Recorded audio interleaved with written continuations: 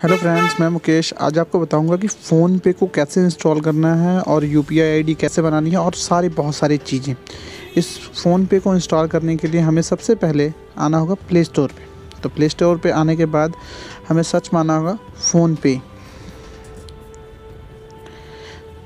तो फ़ोन पे पे इंस्टॉल कर लेते हैं। जब तक ये इंस्टॉल हो रहा है, आपको अगर डाउनलोड करना है तो लिंक से भी डाउनलोड कर सकते हो। नीचे लिंक डाल रखा है, वहाँ से भी डायरेक्टली डाउनलोड कर सकते हो। अगर आपको वहाँ से नहीं डाउनलोड करना है तो प्ले स्टोर में सर्च मार के भी डाउनलोड कर सकते हैं। जब तक ये डाउनलोड हो रहा है, तब तक चैनल को सब्सक्राइब कर दीजिएगा। वीडियो अच्छी लगेगी तो लाइक भी कर दीजिएगा। बस थोड़ी देर लग रही है, थोड़ा सा ही टाइम लग रहा है। और वो जो लाल वाला बटन है उस पर भूकंप लेके आओ या फिर भूचाल? मुझे नहीं पता, बस क्लिक हो जाना चाहिए। ये इंस्टॉल हो रहा है। काफ़ी अच्छी ऐप है। ट्रस्टेड भी है। तो ओपन कर लेते हैं इसे।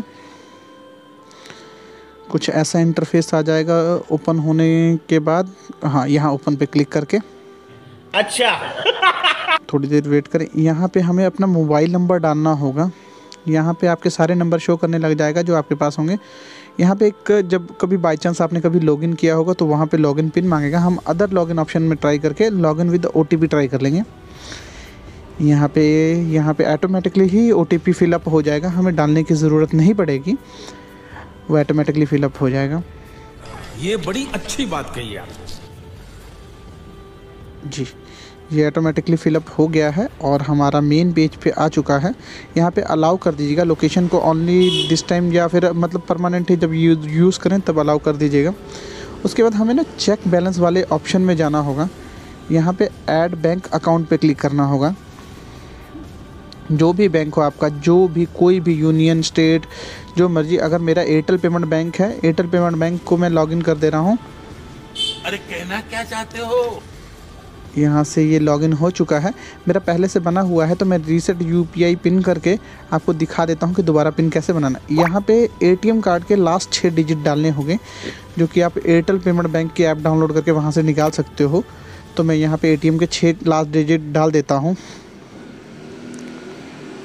और मंथ ऑफ़ एक्सपायरी डालना है हमें। तो जो मंथ ऑफ़ एक्सपायरी है, वो डाल देता हूँ। हैं।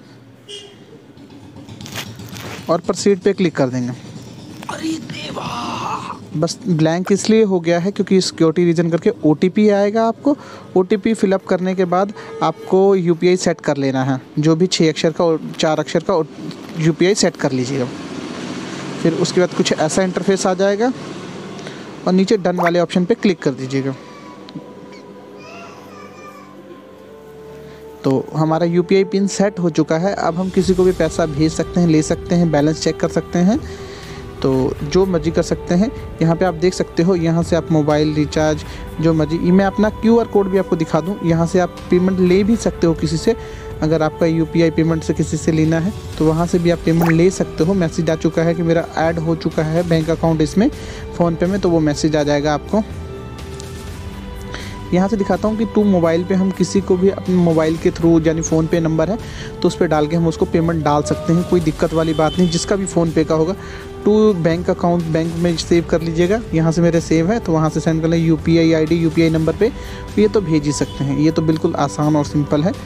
मैं आपको स्क्रॉल डाउन करके दिखाता हूँ मोबाइल रिचार्ज डिश रिचार्जेस बहुत सारे electricity bill credit card bill rent payment ये सभी यहाँ से आप बिल्कुल आसान और सिंपल तरीके से कर सकते हो। कोई भी दिक्कत नहीं आती, इसमें बहुत सारी सुविधाएँ हैं फ़ोन पे से। और इसमें मैं एक आपको बेनिफिट भी बताऊँगा, अगर आप लिंक से डाउनलोड करोगे तो आपको बेनिफिट भी मिलेगा। तो वो बाद में लास्ट में बताऊँगा। तो यहाँ से आपको बता दूँ कि सारे ही रिचार्जेस सब कुछ यहीं से, ये डार्क मोड ऑन करने के लिए बोल रहा है तो डार्क मोड मैं ऑन नहीं करूँ। ऊपर एक ऑप्शन दिख रही है यूपीआई पेमेंट सेट तो ये बता रहा है कि अगर आपको सेट करना है तो फ़ोनपे को कैंसिल करके आपको यहाँ पे सेट कर ले। तो मैं बिल्कुल भी पेटीएम कैंसिल करके यहाँ पे सेट कर ले तो मैं पेटीएम से कैंसिल नहीं करूँगा। यहाँ पे कंफर्म कर दे रहा हूँ कैंसिल नहीं करूँगा। बैक कर दूँगा यहाँ से, क्योंकि मुझे फ़ोन पेटीएम भी यूज़ करना और ये भी यूज़ करना है। वो मेन कह रहा है कि यही यूज़ करने के लिए। तो ऊपर जो स्कैन वाली ऑप्शन दिख रही है, उस पर हम क्लिक करके आपको बताएँगे कि स्कैन करके हम किसी को पेमेंट कैसे करें। ऊपर दिख रहा है, यहाँ पर क्लिक कर देंगे। और ये परमिशन मांगेगा तो इसे परमिशन दे देंगे। और स्कैन करके और यहाँ से हम फ़ोटो को भी स्कैन करके अगर किसी का क्यू आर कोड का फ़ोटो खींचा है तो वहाँ से भी पेमेंट कर सकते हैं। यहाँ से स्कैन करके वो सारी पेमेंट हो जाएगी। कोई दिक्कत नहीं आएगी, कोई भी परेशानी नहीं आएगी। बिल्कुल सिंपल और आसान तरीका है। यहाँ पे बहुत सारी सर्विसेज़ हैं, आप देख ही सकते हो। यहाँ पे मैं वॉलेट चेक करके बता दे रहा हूँ कि वॉलेट में भी आपके बैलेंस आप अगर चाहो तो वॉलेट में भी ट्रांसफ़र कर सकते हो। रिचार्ज बिल पे सब कुछ ही यहाँ से आसानी से कर सकते हो। मैं यहाँ पर आपको फ़ोनपे का गिफ्ट कार्ड दिखाने वाला हूँ। ये सौ रुपये का गिफ्ट कार्ड जब मैं किसी के रेफरल से डाउनलोड करूँगा तो मुझे सौ रुपये का गिफ्ट कार्ड मिलेगा। तो आप भी डाउनलोड कीजिए और इन्जॉय कीजिए अपने हंड्रेड रुपीज़ बोनस का। तो कैसी लगी पूरी वीडियो हमें कमेंट में ज़रूर बताइएगा। और ऐसी जानकारी के लिए हमारे चैनल को सब्सक्राइब कर लीजिएगा।